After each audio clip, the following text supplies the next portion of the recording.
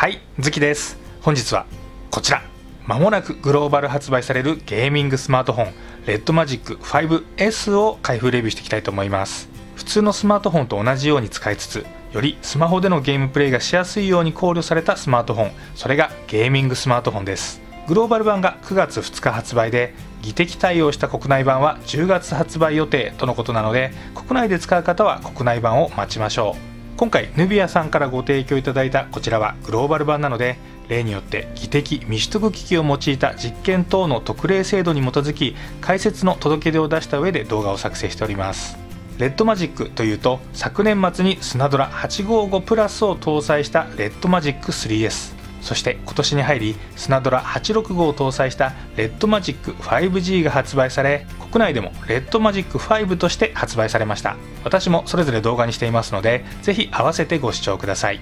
新発売となるこちらレッドマジック 5S は昨年の 3S 同様スナップドラゴンのオーバークロックバージョンと言っていいでしょうか。スナップドラゴン865プラスを搭載してくるかと思いましたが CPU は全モデルレッドマジック 5G から据え置かれ同じスナップドラゴン865を搭載しています。有名どころで言うと ROG フォン3がスナップドラゴン865プラス搭載モデルを発表しましたがレッドマジックのライバル機でもあるブラックシャークの新モデル 3S でも CPU はスナップドラゴン865に据え置かれましたのでもしかしたらコストパフォーマンス費用対効果というより単純に性能比でそれほど大きな違いがなかったのかもしれません。というのも前回開封レビューした Galaxy Note の最新モデル Note 20 Ultra がスナップドラゴン865プラスを搭載していますが発熱がすごい割にスコアはそれほど伸びないという結果でしたのでその辺りが関係しているのかもしれません。それでは開封していきましょう。5G のパッケージと比較するとはい、まあ、どちらもこうアメコミ調といいますかね。スマホには珍しいアニメチックなパッケージとなっています。レッドマジック 5G から何が進化したのかをチェックしていきたいと思います。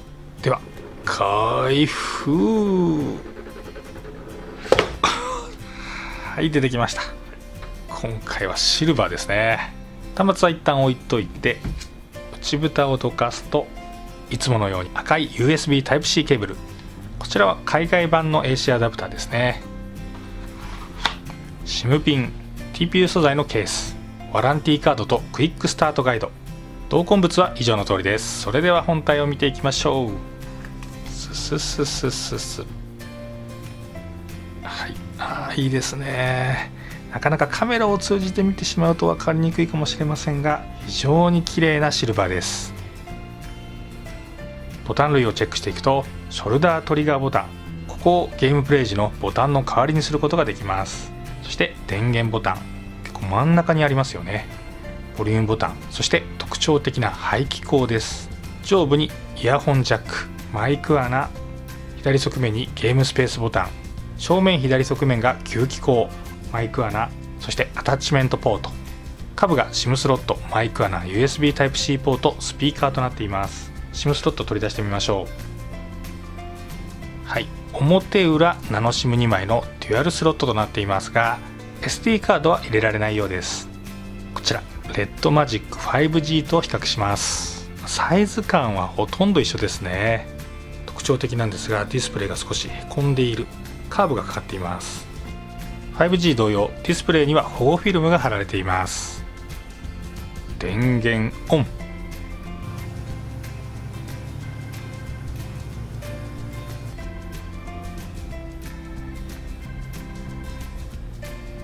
はい来ました。いやかっちょいいっすね。通知がね結構うるさいんですよね。アプリの反応も爆速ですね。ストレージはデフォルトで 128GB 中 21GB 使用 107GB83% 使用可能となっています。設定項目にナビゲーションボタンジェスチャーとありますので現在の3ボタンナビゲーションからフルスクリーンジェスチャーに変更します。アザージェスチャーって何ですかね。いろんなジェスチャーが選択できるということです。フルスクリーンジェスチャー。両端から中にスワイプで戻る。下から上でホームに戻る。下から上にスワイプして止めるとタスクの表示。一般的なジェスチャー操作となります。Twitter をインストールしましたので起動してみます。せーの、はい、すごい早かったんですがもう一回。せーの。はい。爆速ですね。それではレッドマジック。5G と 5S 両端末の違いをスペックから確認していきましょう。まずサイズについては一緒で重量だけ 5S が 2g 増加しフレームもメタルミドルフレームから金属ミドルフレームに変更されています。5S のカラーバリエーションは 5G で人気を博した最上位のパルスとシルバーソニックシルバーの2色展開となっています。ディスプレイについてもサイズ感やハイリフレッシュレート 144Hz 駆動タッチサンプリングレート 240Hz 対応。DCI-P3 の色域など使用面で違いはありません。通信関係 Wi-Fi や Bluetooth も同じでカメラは 5S でリアカメラの絞りが2.0に変更された以外は同じ仕様となっています。その他バッテリー容量や急速充電規格ポート類や同梱物なども同じです。では何が違うのかというとまずはファンですね。スペック表で見る限り同じような仕様なんですが詳しく見ると 5G のターボファン3.0から 5S では ICE4.0 にアップグレードしているようです。背面の新しい ICE-AG シルバープレートを使った熱伝達材との組み合わせとあるのでこの背面プレートの部分が 5G とは異なり 5S でより熱を逃がしやすくなっています。ここの部分ですね。これが ICE-AG ですね。レッドマジック 5G にはそのような材料部材は使われていません。ツルツルしています。こうやった方が分かりやすいですかね。5S ではこのような熱伝達材が新たに付け加えられています。このプレートによりアタッチメントが生きてきて別売りのアイスドッグ冷却アタッチメントと組み合わせることでより熱を逃がすとアピールしています。こちらについてはアタッチメントを取り寄せていますので届きましたらまたその排熱効果を検証したいと思います。そして重要なのがストレージ規格ですね。5G の UFS3.0 から 5S では3.1になり書き込み速度で3倍速くなったとしています。そしてショルダートリガー。背面のトリガーのタッチサンプリングレートが 5G の 300Hz から 5S で 320Hz になっています。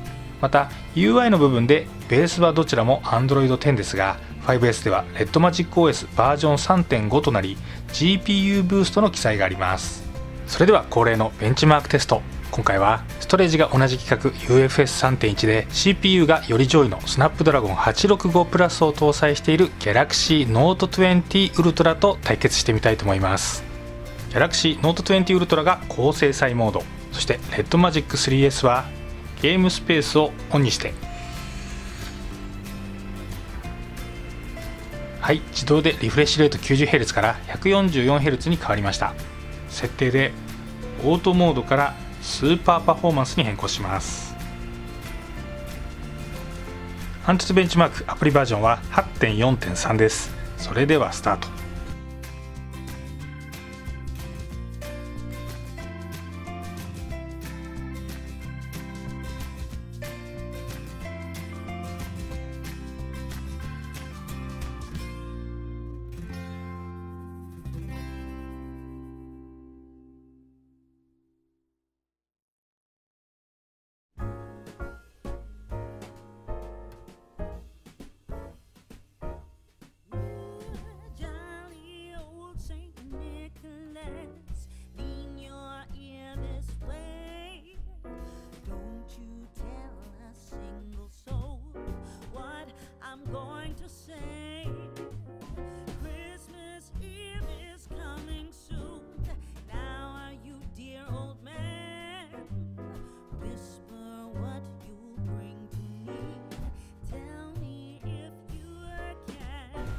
はいということで結果を見ていきましょう。トータルスコア61万6800ということでこれまでのこのチャンネルのハイスコア OPPO Find X2 の61万9000にわずかに及ばずといった形になりました。ただ CPU スコア等を見ていくとスナップドラゴン865プラス搭載の Galaxy Note 20 Ultra よりスナップドラゴン865いわゆる無印の RedMagic 5S の方が良いスコアということになっています。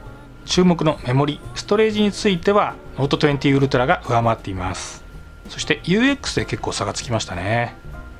注目の温度上昇ですがスナップドラゴン865プラス搭載 Galaxy Note 20 Ultra は9度上昇。最高温度35.4度。スタートに0.8度の違いがありますがレッドマジック 5S は7.7度上昇し最高温度33.3度となっています。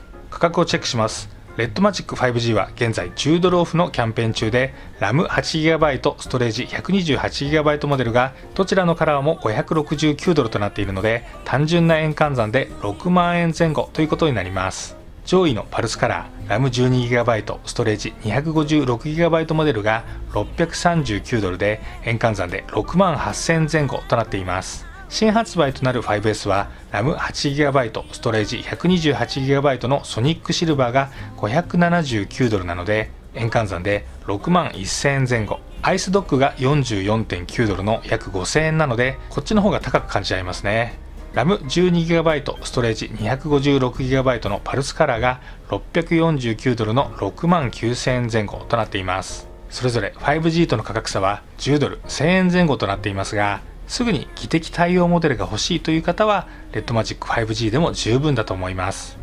配送は50ドル以上で標準配送無料とのことで支払い方法や保証に関する事項については公式ホームページのよくある質問に記載がありますので気になる方は動画説明欄リンクよりチェックしてみてください。さていいところ悪いところですがこの辺りは実際にスマホぬるさく選手権でゲームプレイをした上でお伝えしたいと思います。欲を言うと 5G から 5S でもう少し分かりやすいアップグレードポイントがあるといいかなと思いましたが今回のモデルはマイナーチェンジということで価格的な選択肢が広がったと言えるかもしれません。6万円でこれだけの性能そして技的に対応しているスマートフォンが手に入るわけですからゲームプレイを良くする方で熱によるラグなどにお困りの方は検討してみてはいかがでしょうか。1点注意点として昨今の米中冷戦突入の影響でメーカーであるヌビアさんの親会社 ZTE がアメリカ政府から睨まれているのでそういった政治的な動きが今後加速する可能性もありますのでその点だけご留意ください。ということでぬるさく選手権でお会いしましょう。本日もご視聴ありがとうございました。ではまた。